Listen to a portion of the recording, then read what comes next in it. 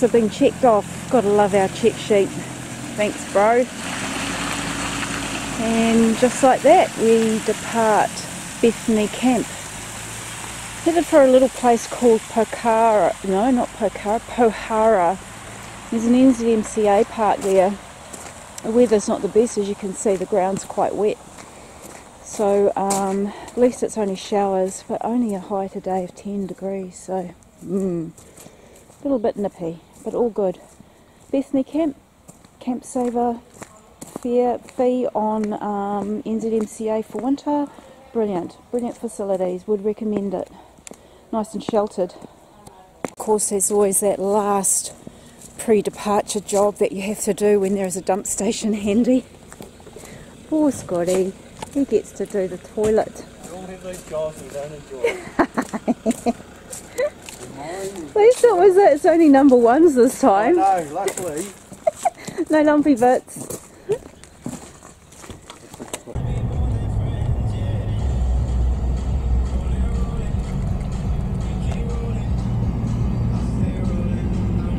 So my ears are popping, so I know that we're climbing, and we are climbing at the moment up and over the Takaka Hill. So plenty of twists and bends, and driving up into the clouds pretty much on a bit of a wet day.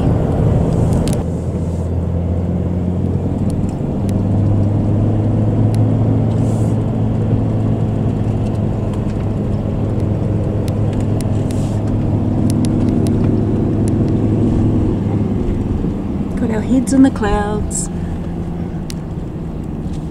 So, Pohara.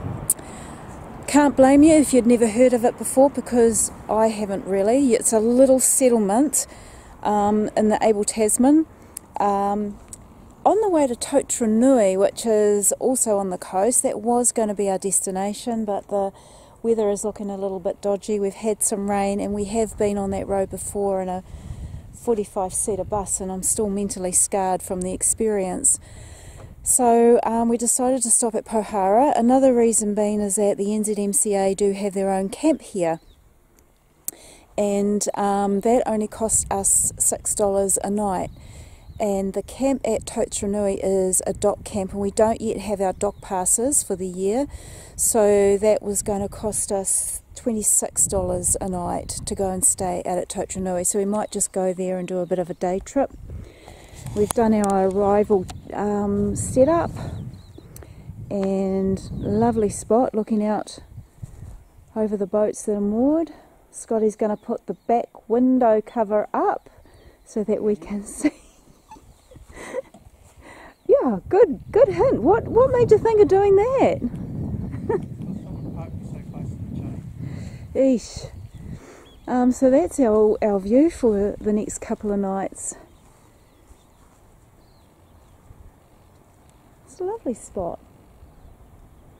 Very happy.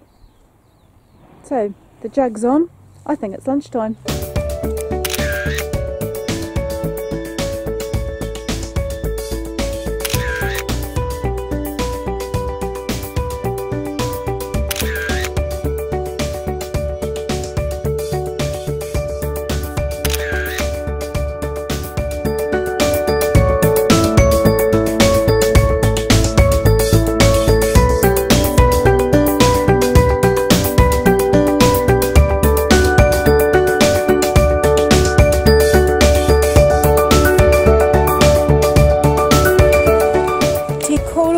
Pupu. T Y T T Y Yakoro Pupu Springs.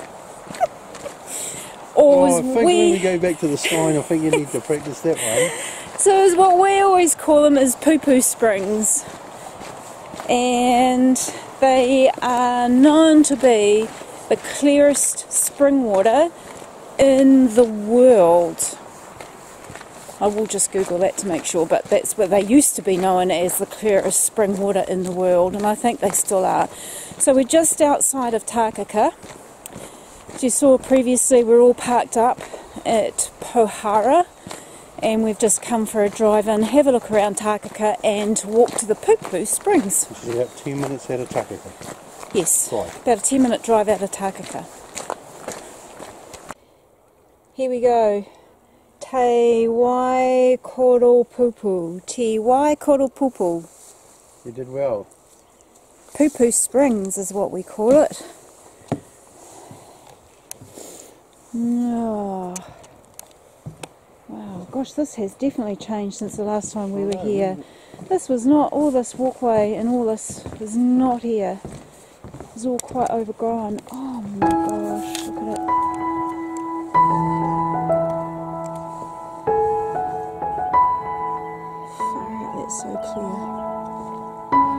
it bubbling away.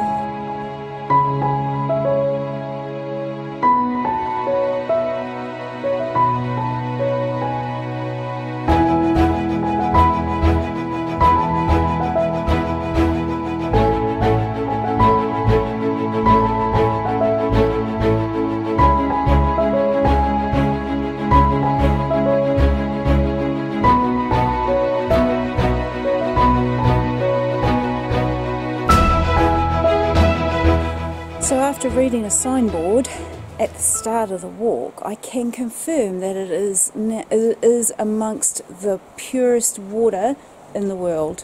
Not the purest, but amongst the purest in the world. And the water quality has remained stable for 22 years.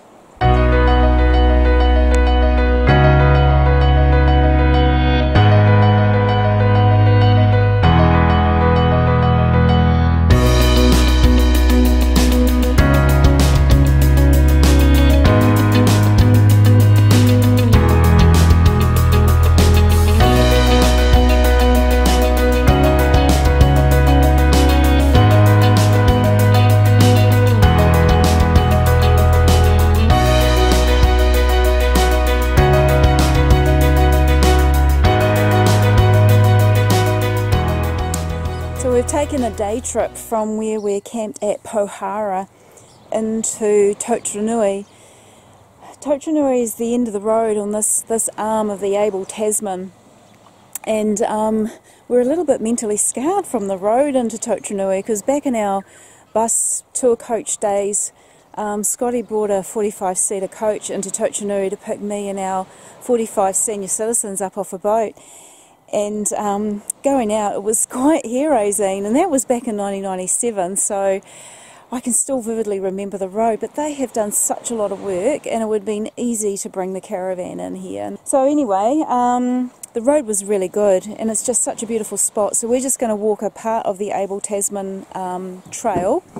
Uh, we just probably might go for an hour or two in, and then out again. But oh man, what a spot!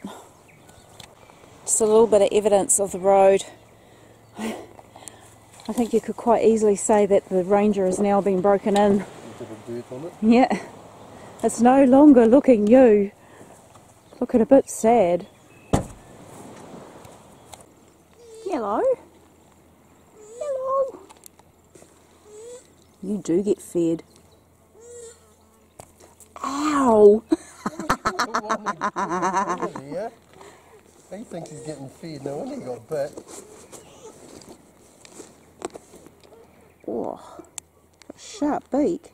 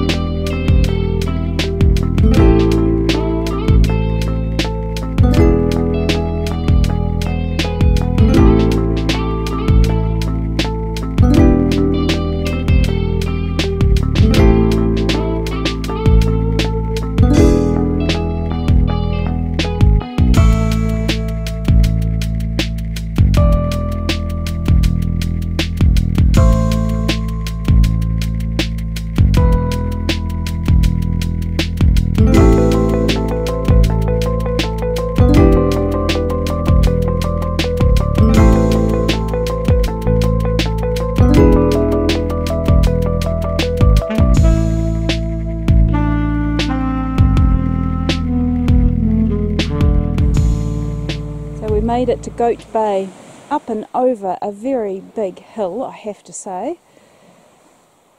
Pretty wet, slippery conditions, but hey, it is winter. But they are, they've maintained the track beautifully.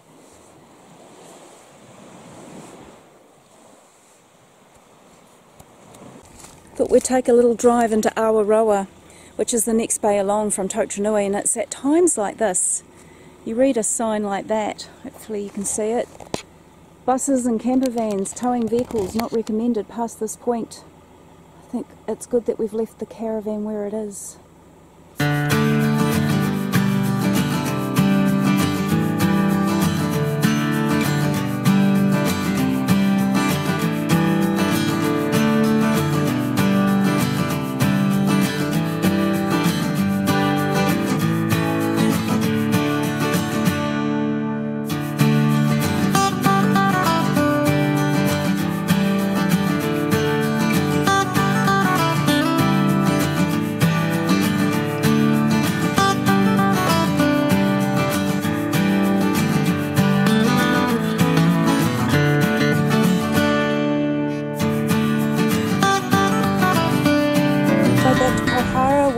Stopping off to go for a walk to the Wainui Falls. Got a 2k walk in. And we'll go and see ourselves a waterfall.